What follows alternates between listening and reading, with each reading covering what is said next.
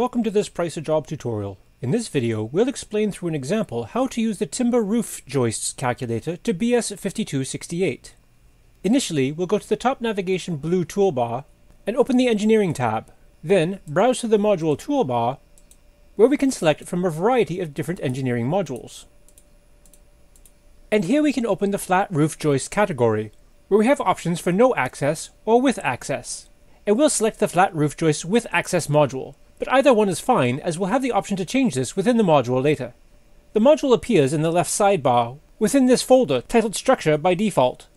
We can click on the pencil icon to rename the module folder to something more project relevant, such as Extension. Next to the module itself, we can click on the three dots to open the module options menu. Here we can rename, duplicate, move, or delete the selected module.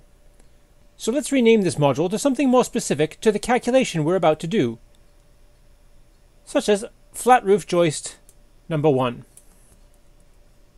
And save. And now we can start the timber design. At the top right hand pane, we can select whether we have a flat roof joist with access or flat roof joist without access. So here we can either confirm or change our choice when we initially selected the module from the toolbar.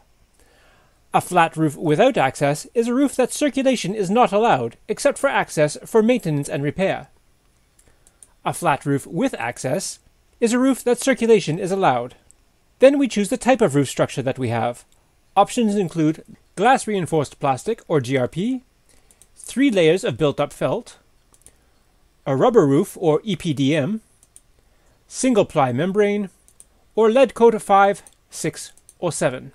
For this example, we'll select a single ply membrane. Then we can enter the clear span, and this should be in millimeters. In this example, we will use 4000 millimeters. We can use the slider to adjust to our desired measurement, or simply input the numeral manually. Then we can enter the roof joist spacing. This is also in millimeters. Usually we choose 400 millimeters center to center. However, we also have options for 300, 450, or 600 millimeters. Next, we can select the strength grade. This is the timber strength, or timber grade as we call it. Usually we choose C16 or C24 for softwood. We'll select C24. For bearing length, we recommend using a bearing length of at least 100 millimeters. Sometimes longer bearing is required to satisfy the bearing stress check, which we can see here in the results summary. The maximum deflection is recommended to be set at 0.003 multiplied by the clear span, or a preset value of 14 millimeters, the calculator will use the minimum of these two values. Utilization limit is recommended to be set at 99%. We have a special video for the utilization limit explanation in our other tutorials. The service class for timber roof joists is usually set as Class 2. There are three different service classes. Class 1 is when we have a heated and dry environment. Class 2 is when we have a cold and dry environment. And Class 3 is when the timber is exposed to weather. We'll leave this set at Class 2. Next we can look at the loading inputs. This is where we answer the question, what are the timber roof joists going to support? For the roof joists, this is usually a standard calculation. If it is a flat roof with access, then we will use 1.8 kilonewtons as a concentrated imposed loading, and 1.5 kilonewtons per square meter uniformly distributed imposed live loading. These are not applied together. So either the 1.8 kilonewton concentrated loading will be applied, or the 1.5 kilonewton per square meter uniformly distributed imposed loading. Now, for the dead loading, we can conservatively use a value between 0.55 to 0.6 kilonewtons per square meter, or use the calculator to calculate the exact dead loading, in this case 0.52. We can easily call up the appropriate values using the templates in the drop-down menu located at the top of this stage. In this case, we use the flat roof with access and price job calculates the dead loading to be 0.52 kilonewtons per square meter. If you need to add any extra rows here, you can do so by clicking the plus add row button. For example, we might add a row here for plywood with a dead load of 0.12 kilonewtons. And then we can use the grab handles on the left side here to reorder these rows however we wish. Also, Price a Job makes it even easier by allowing you to access a library of templates by clicking the template button.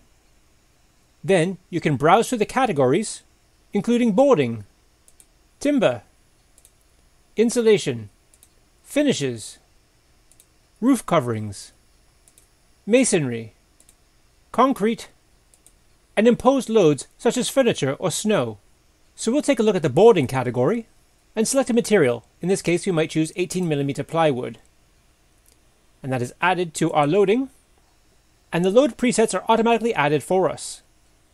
And now that we have a duplicate load here, we can delete the unnecessary row by clicking the bin icon on the right.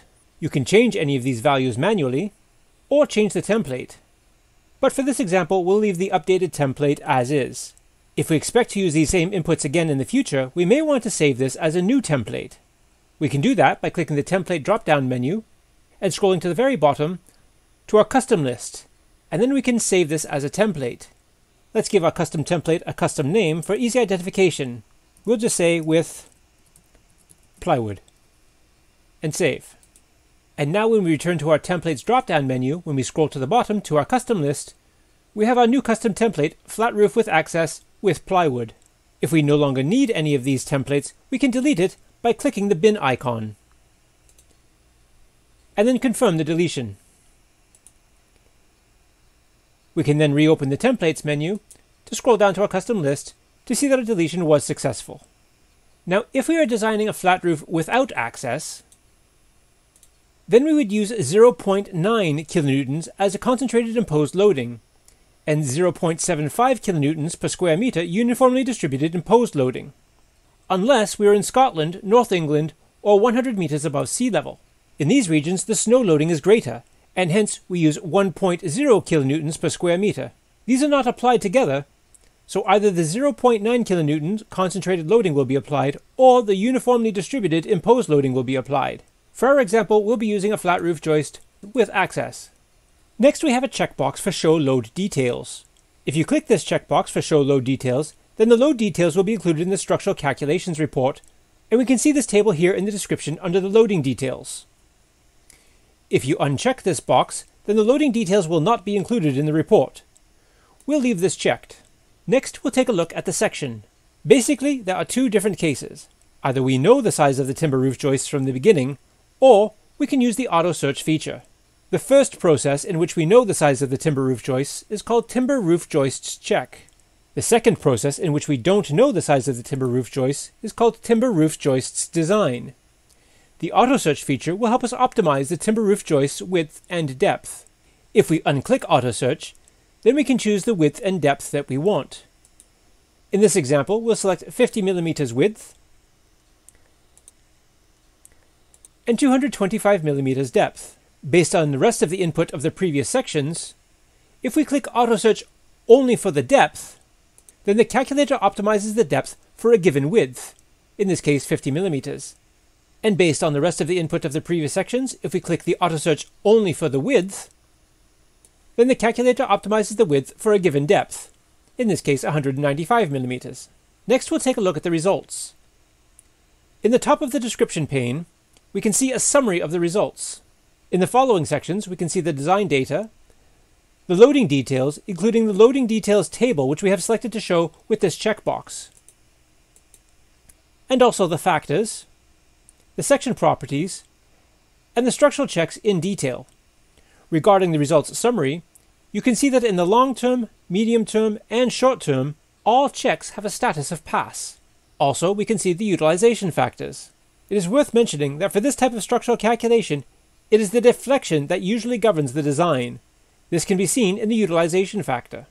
Hence, when the timber roof joists are not spanning a short distance, we should always have a look at the deflection check, which is the structural check that usually governs the design.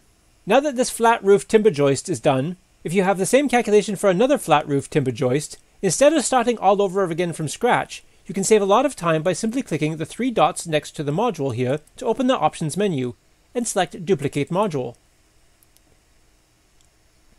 Now you can just rename this new module for the next flat roof joists, and we'll call this one flat roof joists with access number 2, and save. And now we can modify the new values for the new flat roof joists.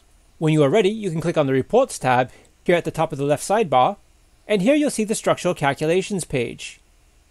If you click Export as PDF, you'll see that your logo will appear automatically shown at the top of the preview, and you can customize this as needed.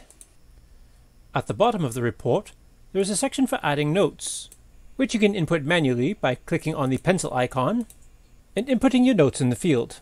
However, to speed things along, you might find it useful to import a note by using the import note here in the bottom left. And this opens Price a Job's Notes template library, where you can select from a variety of categories, including legal fees, services, finishes, substructures, structural members, and general. Or you could add new categories if you'd prefer.